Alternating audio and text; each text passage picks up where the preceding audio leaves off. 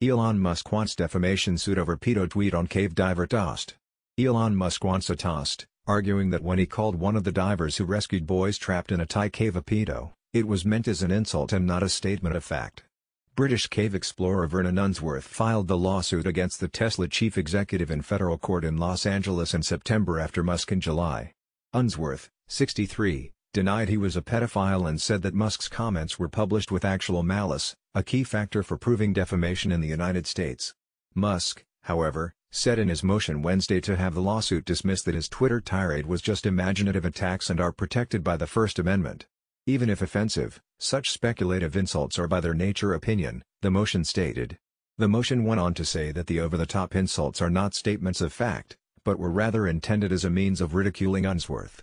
The Tesla and SpaceX CEO launched the attack against Unsworth in July, apparently in response to the diver attacking Musk's efforts to help rescue 12 Thai boys and their 25-year-old coach who got trapped in a cave June 23 when a flash flood blocked the entrance.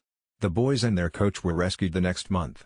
Musk assisted with the expedition by building a mini-submarine, but Unsworth said in a CNN interview that the device Musk and his team built was a PR stunt and had absolutely no chance of working.